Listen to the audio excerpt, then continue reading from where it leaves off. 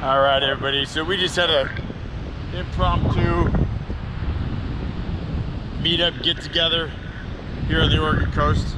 Uh, really, it was just Leah and I coming down to hang out. And, if anybody want to hang out with us uh, or have a reason to come to the beach, we're giving them a reason.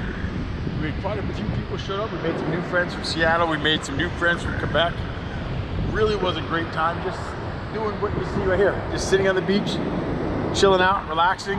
Uh, eating some good food with good people, good friends. We're gonna do it every year. Every year it's gonna happen. And also, we're getting the dates ready for the Meet in the Desert uh, 2022. We don't have a spot picked yet, but we do have a date. I'll, I'll announce that later. But this is what we're doing. Thanks everybody for showing up. It's a great time.